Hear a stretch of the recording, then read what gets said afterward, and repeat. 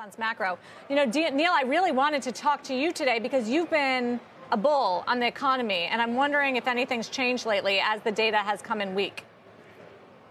Well, has the data come in weak? I mean, if you look at uh, the Atlanta Fed, which sort of puts all of this together, Q4 GDP tracking, Sarah, is close to 3%.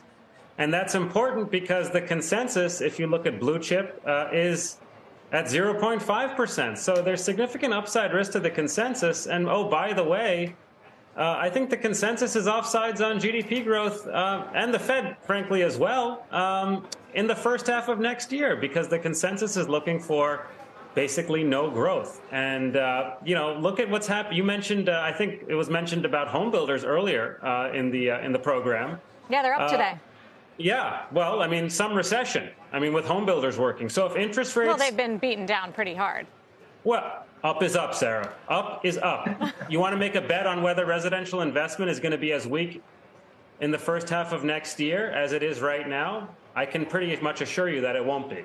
And at the same time, remember all that fiscal squeeze that people were talking about for this year? Well, what happened with that? What we know now is that the personal income numbers are coming in stronger than expected because folks have been underestimating the uh, the manna that was going to be dumped down from the state governments onto uh, onto taxpayers, and that's juicing personal income at a time when gasoline prices are now at year-to-date lows. So the risks to the economy are when the Fed is hiking aggressively and energy prices are very high. That's not what's going on right now. Gas prices are falling, and the Fed is signaling that it's going to step back. Uh, so that's where I am at. Uh, I think the Fed still consensus, pretty bullish. Well, I don't know that it's bullish. I mean, I think it's it bullish is. for the economy in the short consensus. run. Wait, wait, it's yeah. out of consensus. I mean, okay, I'm out of consensus. Uh, that's not happened before. Uh, but look, um, what I would say is that it's good for the economy, but it also means that the fixed income market is mispriced.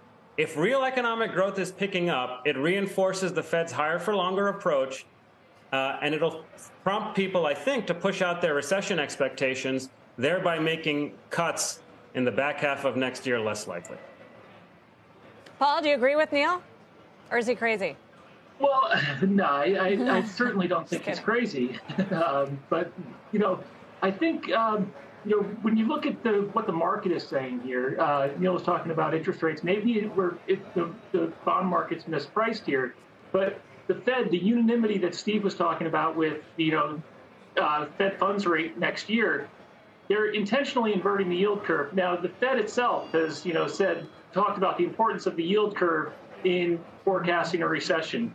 And when you have the Fed funds rate 100 basis points above the 10-year yield, uh, going back to 1994, when the Fed has, you know, telegraphed its uh, its rate decisions, you've when it's been this inverted, you've seen a recession imminent all three times. So I think in that respect, the market is saying to the Fed, hey, uh, you know, we're looking at different things here. And I, think in that respect, you get this little bit of a shock here in the markets. Uh, you know, it's one day. Um, it's certainly a very big decline. But I think overall, taking a step back from a bigger picture, there's some things to like about the market here. First of all, what drove the market lower for the first half of this year was the fact that, mm-hmm. as Neil mentioned, energy prices were higher. They've come in. The dollar was strong. That's come in rates are starting to come in as well. So those factors are less of a headwind now for the market. And when you look at internal measures of the market at the most recent low in October, they were much better than they were at the prior lows. And even right now, the market's behavior around this trend line that we've all been, you know, watching so intently, it's been a disappointment as we haven't been able to get above that trend line. But the behavior of the market this time around has been a lot different. Whereas we pulled back immediately and sharply both of those prior periods, for the last two weeks, we've been hanging around these levels just below that level. And as technicians yeah. will tell you, the more often you test resistance or support, the weaker it gets. So in that respect, I think you can take some solace. Lastly, seasonality.